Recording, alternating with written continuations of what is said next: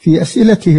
السؤاله الثالث والأخير يقول ينزل ربنا إلى السماء الدنيا أود يا فضيلة الشيخ أن تشرحوا هذا النزول في ضوء الكتاب والسنة نعم هذا متواتر أن الله ينزل إلى سماء الدنيا حين يبقى كل ليلة حين يبقى ثلث الليل الآخر فيقول هل من سائل فأعطيه هل من داع فأستجيب له هل من تائب فأتوب عليه هل من مستغفر فأغفر له بكل ليلة وهذا من رحمته بعباده سبحانه سبحانه ونزوله إلى سماء الدنيا كما يليق بجلاله لا يعلم كيفيته إلا هو سبحانه وتعالى نعم